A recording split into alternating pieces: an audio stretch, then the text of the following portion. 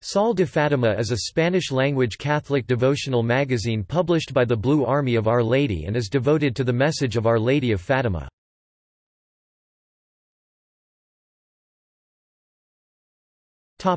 Description It caused controversy in the September 1985 issue when it reported that one of the Fatima visionaries, Sister Lucia claimed that the Vatican had not complied with the Virgin Mary's request to consecrate Russia to the Immaculate Heart of Mary. This was reported to be because there was no specific mention of Russia. It was also claimed that she said that, "...many bishops attached no importance to it." It is claimed that the Virgin Mary promised that the consecration of Russia would lead to Russia's conversion and an era of peace.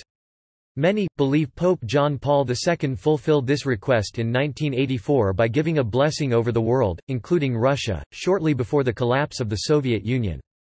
It is commonly believed that Sister Lucia verified that this ceremony fulfilled the requests of the Blessed Virgin Mary.